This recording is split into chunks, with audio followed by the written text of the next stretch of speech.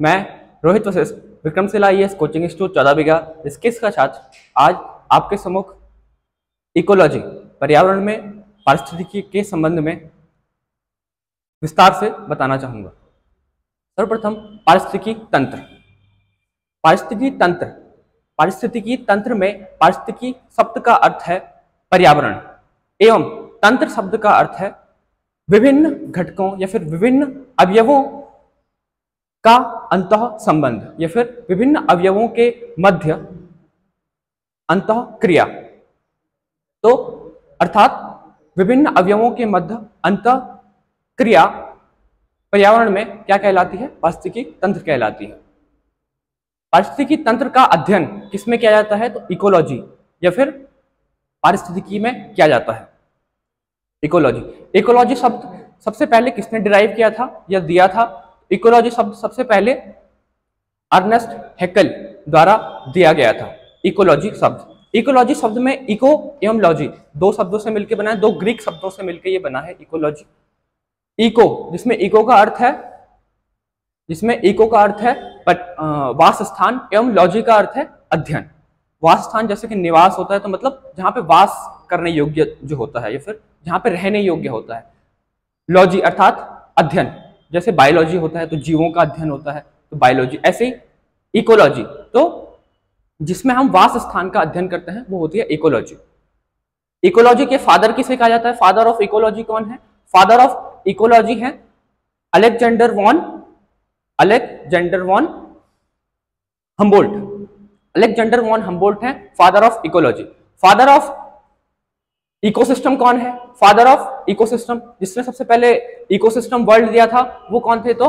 वो थे एजी वो थे एजी टॉन्सले तो फादर ऑफ़ इकोसिस्टम कौन है? एजी टॉन्सले और फादर ऑफ़ मॉडर्न इकोलॉजी या फिर फादर ऑफ़ मॉडर्न इकोलॉजी कौन है? Father father of modern ecology है ओडम ई ओडम सॉरी हाँ E Odum then father of Indian ecology कौन है? फादर ऑफ़ इंडियन इकोलॉजी है। रामदेव मिश्र रामदेव मिश्र ये इकोलॉजी के विषय में सब कुछ क्वेश्चंस थे। और इसके बाद यदि मैं पारिस्थितिकी पे वापस आऊँ तो पारिस्थितिकी तंत्र या फिर पारिस्थितिकी की व्याख्या या इसकी परिभाषा विभिन्न वैज्ञानिकों द्वारा दी गई है। जैसे कि इस क्रम में सबसे पहले जैसे कि पीटर हेगेट पीटर हेगेट द्वारा एक परिभाषा दी गई है पारिस्थितिकी की कि पारिस्थितिकी तंत्र में पारिस्थितिकी तंत्र में जीवों या फिर जंतुओं एवं पादपों, जंतुओं एवं पादपों के मध्य खाद्य श्रृंखला या फिर भोजन श्रृंखला या फिर फ़ूड चेन के थ्रू पर्यावरण से संबंध ये पारिस्थितिकी कहलाता है। अर्थात जंतुओं एवं पादपों का भोजन श्रृंखला या फिर पोषक श्रृंखला से द्वारा, पोषक श्रृंखला द्वारा पर्यावरण से संबंध क्या कहलाता है? पारिस्थितिकी तंत्र कहलाता है। ऐसा किसके अनुसार है? ऐसा पीटर हेगेट के अनुसार है। इसके पश्चात पार्क।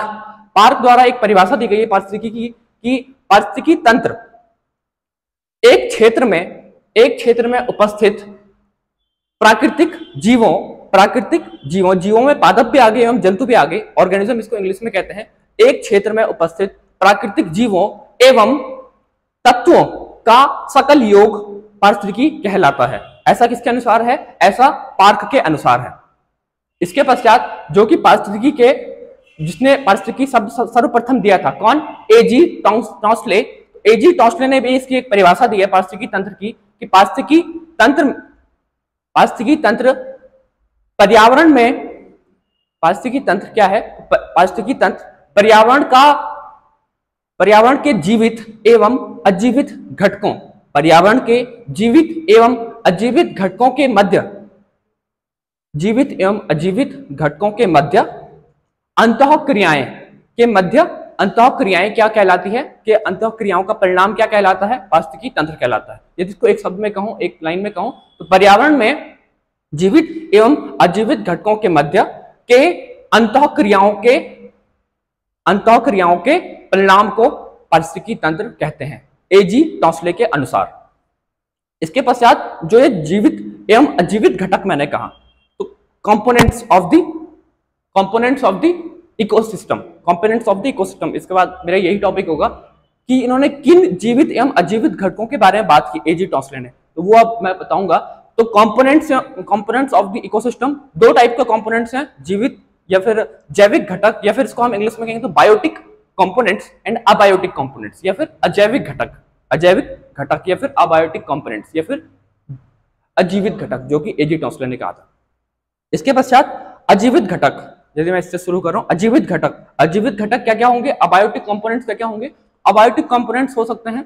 इनको भी हम यदि क्लासिफाई करें और इसको क्लासिफाई करें तो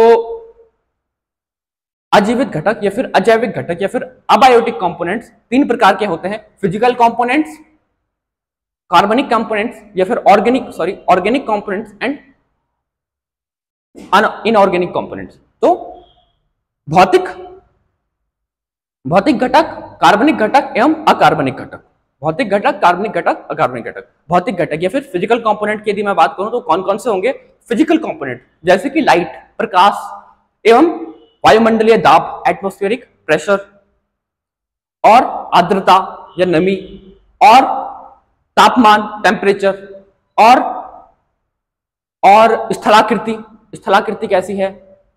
मरुस्थल है, घास है, कैसी स्थलाकृतियाँ हैं? स्थलाकृति, स्थल की आकृति। उसके पश्चात यही क्या है? Physical components inorganic components organic components कौन कौन से होते हैं? या फिर कार्बनिक तत्व। कार्बनिक तत्व कौन कौन से हैं? तो कार्बनिक अवयव या कार्ब ऑर्गेनिक कंपोनेंट्स या फिर कार्बनिक अवयव कौन कौन से हैं? कार्बनिक घटक कौन कौन से हैं? तो वो है इकोसिस्टम में तो वो है जैसे कि वायुमंडलीय गैसें। वायुमंडल में उपस्थित गैसें, जल में उपस्थित गैसें, जो जल में गैसें उपस्थित होती है, जैसे कि जल में घुली हुई ऑक्सीजन होती है या फिर अन्य गैसें वे कौन से हैं? कार्बनिक कंपोनेंट्स हैं। इसके बाद चट्टान चट्टान में भी उपस्थित जो तत्व होते हैं।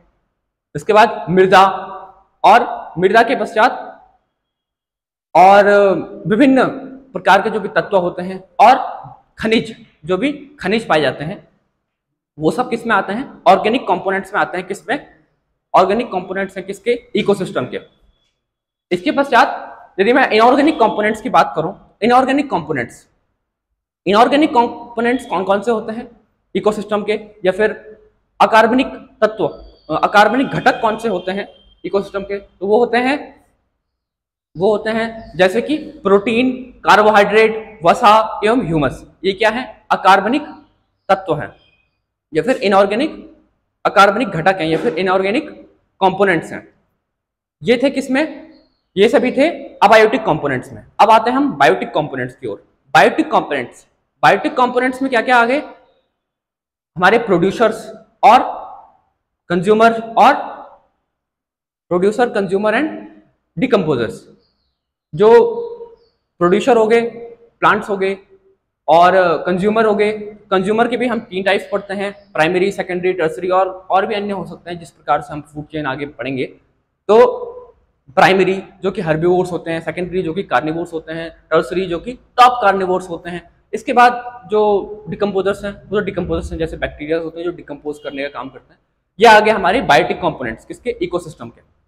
अब यदि मैं आगे बढ़ूँ तो जो इकोसिस्टम है इकोसिस्टम की यूनिट्स में आऊँ इकोसिस्टम की सबसे बड़ी यूनिट कौन सी है? तो इकोसिस्टम की सबसे बड़ी यूनिट है बायोस्फीयर बायोस्फीयर जैसे कि हम ट्रोपोस्फीयर पढ़ते हैं स्ट्रेटोस्फीयर पढ़ते हैं एटमोस्फीयर पढ़ते हैं, ऐसे ही बायोस्फीयर जिसमें कि सभी जीव आते हैं, उसको हम बायोस्फीयर कहते हैं। चाहे वो अंतरिक्ष में उपस्थित है, चाहे वो कहीं पे भी उपस्थित है बायोस्फीयर है।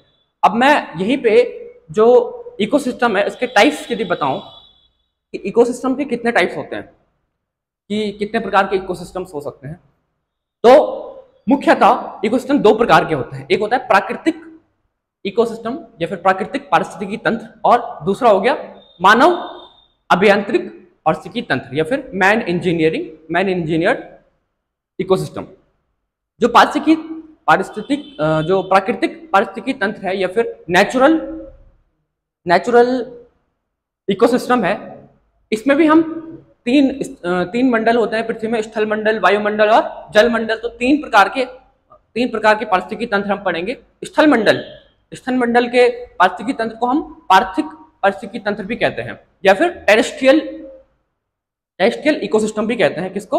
स्थल मंडल के पारिस्थितिकी तंत्र को।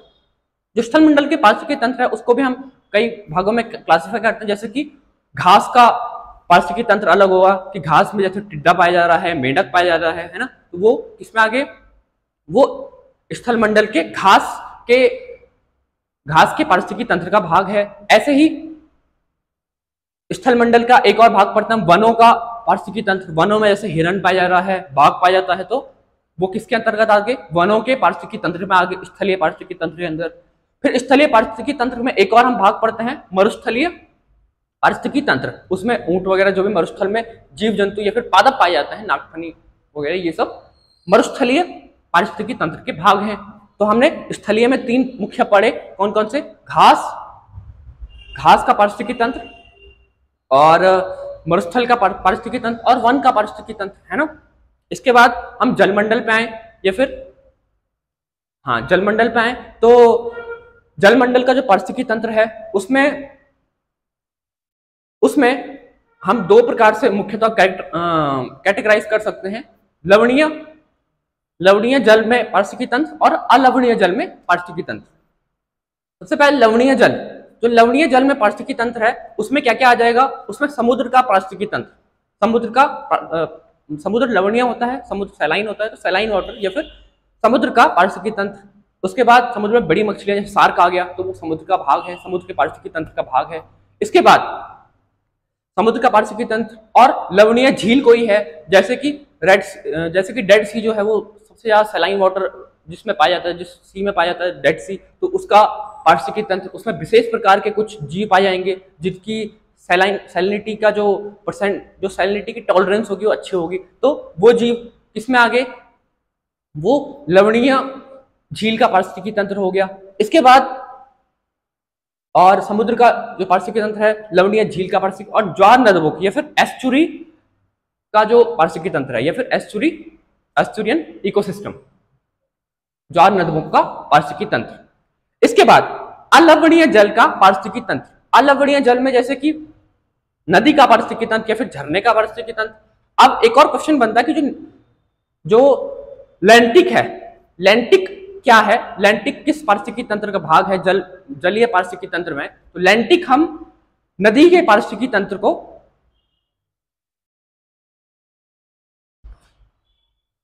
सॉरी लोटिक एक होता है लोटिक और एक होता है लैंटिक तो लोटिक किस पारिस्थितिकी तंत्र को कहते हैं? लोटिक नदी के पारिस्थितिकी तंत्र को कहते हैं। और एक होता है लैंटिक लैंटिक वर्ड आता है तालाब के पारिस्थितिकी तंत्र के लिए। दोनों अलवणीय पारिस्थितिकी तंत्र, अलवनीय जल मंडल के पार्श्विकी तंत्र के भाग है। तो लैंटिक पार्श्विकी तंत्र किसमें आता है? तालाब में। और लोटिक पार्षिकी तंत्र किसमें आता है? नदी के पार्श्विकी तंत्र में आता है। मतलब उनको टर्म दिया गया है। इसके बाद एक और, इसके बाद यदि मैं जलमंडल के बाद वायुमंडल पे आऊँ, वायुमंडल अर्थात एटमॉस्फेयर या फिर आकाशीय पारिस्थितिकी तंत्र किसको कहते हैं। आकाशीय पारिस्थितिकी तंत्र जिसमें पक्षी जिसके भाग हो सकते हैं और आकाश में जो भी पारिस्थितिकी तंत्र है या आकाश में जो भी जीव उपस्थित हैं, तत्व उपस्थित हैं, उनका पारिस्थितिकी तंत्र। इसके बाद मैं दूसरी कैटेगरी पे आऊँ। ये था प्राकृतिक पारिस्थितिकी तंत्र। दूसरी कैटेगरी अर्थात मानव अभियंत्रिक पारिस्थितिकी तंत्र। मैन इंजीनियर इकोसिस्टम तो उसमें क्या सा, क्या क्या आ सकते हैं? उसमें आ सकता है कृषि क्षेत्र। कोई भी गेहूँ का खेत है या आम का बाग है तो उसका पारिस्थितिकी तंत्र क्या है? मानव अभियंत्रिक पारिस्थितिकी तंत्र है। इसके पश्चात एक्वेरियम या फिर जल जीवशाला। तो एक्वेरियम का जो पारिस्थितिकी तंत्र है वो क्या है? मानव अभियंत्रिक पारिस्थितिकी तंत्र है। इसके बाद अंतरिक्ष यान अंतरिक्ष यान का जो पारिस्थितिकी तंत्र है वो क्या है? मानव अभियंत्रिक अब, मानव अभियंत्रिक पारिस्थितिकी तंत्र है जिसमें कि मानव तकनीक का उपयोग किया गया है या फिर मानव की शारीरिक क्षमता का उपयोग है वो क्या है? मानव अभियंत्रिक पारिस्थितिकी तंत्र है या फिर मैन इंजीनियर इकोसिस्टम। ऐसे ही नगरीय या फिर शहरीय पारिस्थितिकी तंत्र जो भी होता है वो क्या है? उसमें जो भी जीव होते हैं वो किसमें आते हैं? मानव अभियंत्रिक पारिस्थितिकी तंत्र में आता है। इसके बाद यदि मैं आगे बात करूँ फ़ूड चेन की। फ़ूड चेन की, या फिर फ़ूड चेन की बात करो फ़ूड चेन किसे कहते हैं? फ़ूड चेन की जो परिभाषा है वो होगी कि विभिन्न अवयवों का, विभिन्न अवयवों का आपस में विभिन्न अवयवों के मध्य के संबंध, विभिन्न अवयवों के मध्य के संबंध की अंत क्रियाओं को क्या कहते हैं? भोजन श्रृंखला या फिर खाद्य श्रृंखला या फिर फ़ूड चेन कहते हैं। और विभिन्न फ़ूड चेन विभिन्न खाद्य श्रृंखलाओं या फिर विभिन्न भोजन श्रृंखलाओं से फ़ूड वेब अर्थात खाद्य जाल या फिर फ़ूड वेब का निर्माण होता है। तो फ़ूड वेब सब सब किसके लिए होता है? विभिन्न खाद्य श्रृंखलाओं से मिलकर फ़ूड वेब का निर्माण होता है। अब यदि मैं एक पॉइंट मिस हो गया, वो होगा यूनिट्स में कि इकोसिस्टम की जो यूनिट्स होती हैं, उसमें एक ऑर्डर आता है। क्या क्या ऑर्डर आता है उसमें? तो फ़ूड जो इकोसिस्टम है इकोसिस्टम की सबसे फंडामेंटल जो इकाई है, वो हम किसे कहते हैं? वो ऑर्गेनिज्म या फिर जीव को कहते हैं। ऑर्गेनिज्म को कहते हैं। तो सबसे छोटा जो है, वो कौन है? ऑर्गेनिज्म है। ऑर्गेनिज्म के बाद क्या आती है? पॉपुलेशन पॉपुलेशन के बाद क्या आता है? कम्युनिटी और कम्युनिटी के बाद इकोसिस्टम और इकोसिस्टम के बाद इकोसिस्टम के बाद लैंडस्केप यदि मैं इसको हिंदी में कहूँ तो जीव. जीव के बाद जनसंख्या. जनसंख्या के बाद समुदाय. समुदाय के बाद, समुदाय के बाद जो इकोसिस्टम है या फिर पारिस्थितिकी तंत्र है, और पारिस्थितिकी तंत्र के बाद लैंडस्केप या फिर स्थलाकृति।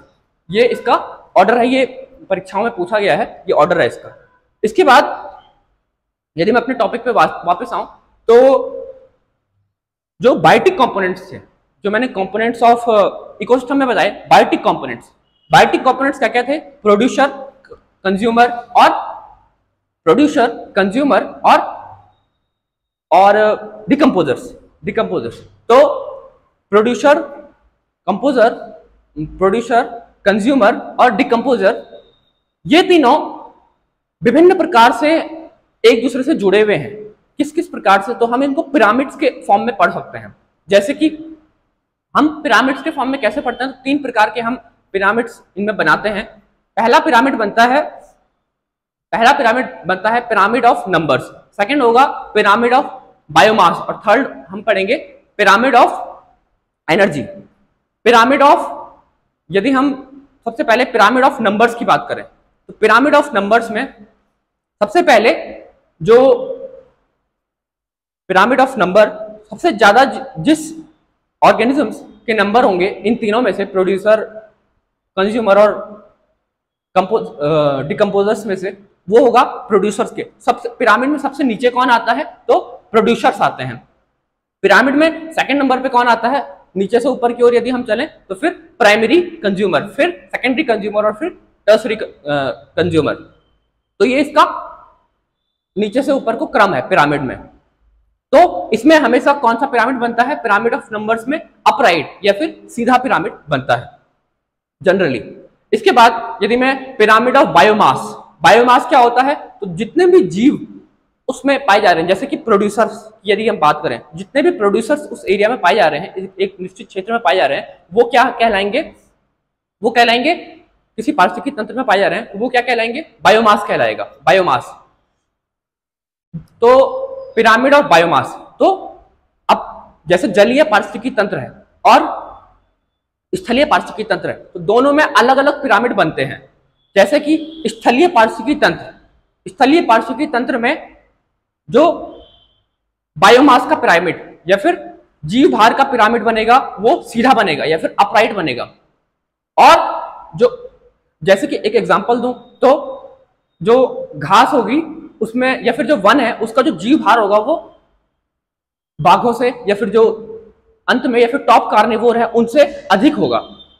तो स्थलीय तो स्थलीय पारिस्थितिकी तंत्र में जो बायोमास का पिरामिड बनेगा, वो सीधा बनेगा। और जलीय पारिस्थितिकी तंत्र, जलीय पारिस्थितिकी तंत्र में ये पिरामिड उल्टा बनता है। इसमें क्या होता है कि जो प्रोड्यूसर्स होते हैं, उसका जीवभार सबसे कम होता है और जो कार्निवोर्स होते हैं, उनका जीवभार अधिक होता है। जैसे कि समुद्र में जो फाइटोप्लैंक्टन्स हैं, उनका जो जीवभार होगा वो कम होगा और जो सार्क्स होंगी बड़ी बड़ी टॉप कार्निवोर्स होंगे, उनका जीवभार अधिक होगा। तो जीवभार का जो पिरामिड होता है, वो जल, जलीय पारिस्थितिकी तंत्र का उल्टा होता है और स्थलीय पारिस्थितिकी तंत्र का सीधा होता है।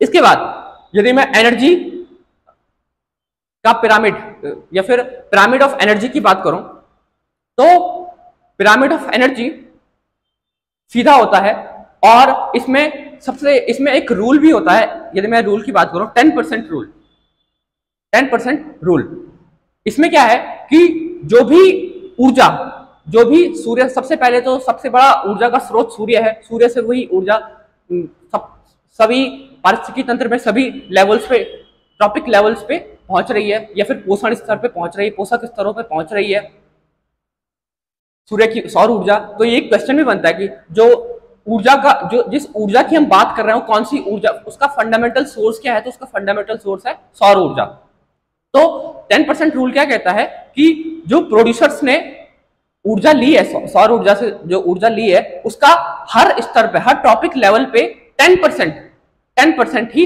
हस्तांतरित या फिर स्थानांतरित होगा। बाकी का 90 प्रतिशत वो इस प्रक्रिया में उत्सर्जित हो जाता है। मतलब वो नष्ट नहीं होती, जैसे कि थर्मोडाइनेमिक्स के लॉ है कि ऊर्जा कभी भी नष्ट नहीं होगी, वो उत्सर्जित हो जाएगी, परंतु या फिर स्थानांतरित हो सकती है, परंतु नष्ट नहीं हो सकती। तो वो स्थानांतरित केवल 10 प्रतिशत होगी हर ट्रॉपिक लेवल में।